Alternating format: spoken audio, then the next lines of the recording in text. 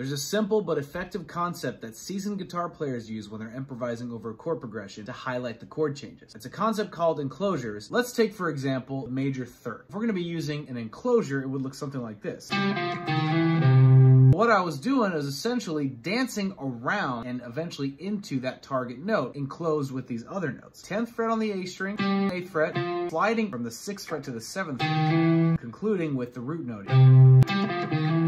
To move that over a different chord, so let's say 4 chord, F, we do the exact same thing, just bring it down a string. 10 and 8 on the D string, 6 slide to 7, 8 on the A string. And then over the 5 chord, G, just 2 frets up. 12, 10, 8, slide into 9, 10 right here on the A string. So it's the same shape. Finally unlock the blues with our free blues guitar solo heat map today. Click the link in our bio.